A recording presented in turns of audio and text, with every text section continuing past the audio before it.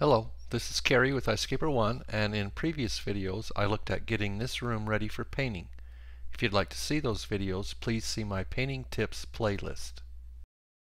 Before painting, it's a good idea to throw down a drop cloth so that if you have a spill or paint accident, you don't create another cleanup project when instead you could be painting. The paint I picked for this bedroom is Behr Premium Plus from Home Depot. I got paint with primer which is supposed to adhere to the walls better but did cost a little more per gallon than paint without primer. To begin I'll pour some paint in a paint bucket with a removable liner and with a paintbrush I'll start painting the tight areas I can't get to with a roller. What I want to do is load the paintbrush with paint, wipe the excess off both sides of the brush, and then apply the paint to the wall.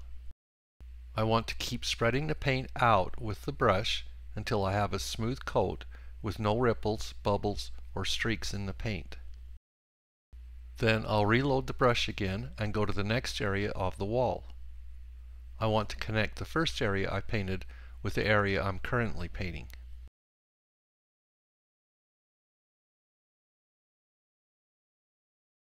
I could use the paintbrush to paint the wall corners but what I'm going to use instead is a 4 inch corner roller. I really like corner rollers.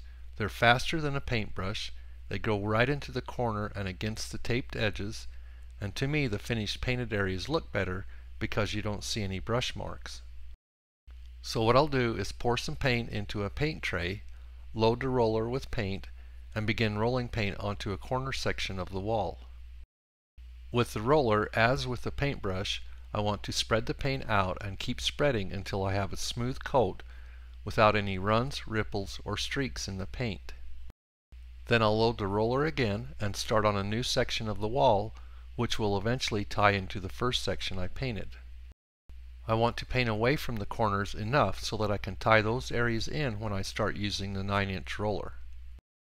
Once I get two coats of paint applied to all the corners and tight sections of the walls, I'll move on to a 9 inch roller.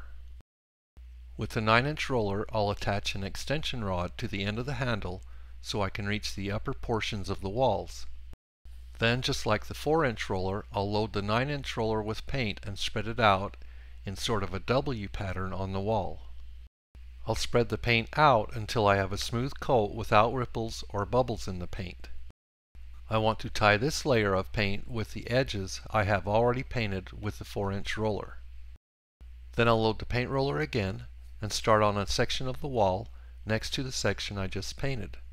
Spread the paint out and eventually tie this section of paint into the first section I painted and the edges I painted. I'll repeat this process until all of the walls of the bedroom are painted. When the first coat of paint I applied dries, I'll go back and start a second coat using the same painting techniques I used with the first coat. In the painting I've done, it seems like to get an appealing look and good coverage, I'll have to apply two coats of paint. I often have paint sellers tell me that their paint will cover in one coat, but I find that most of the time that is not the case, especially when there is a color change. On baseboard and trim, if I'm using the same color, then oftentimes one coat is enough but on the walls in this room it took two coats to get complete coverage. One of the nice things about using latex or water-based paint is once the painting is done all I have to do for cleanup is rinse the brushes and rollers out in the sink with warm water. I want to do this soon after painting so that the paint doesn't dry into the brushes and rollers or into the paint tray.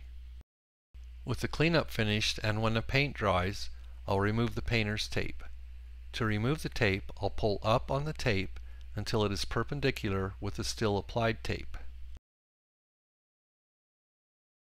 Notice how the tape forms a C shape and cuts the paint as I remove the tape.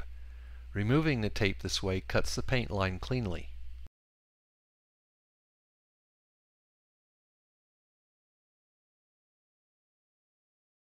Once the painter's tape is removed, I'll reinstall the wall and light switch plates. That finishes the painting of this bedroom, and if you like this video, please share it and click the thumbs up. And if you'd like to see more of my videos, please visit my YouTube channel, iScaper1.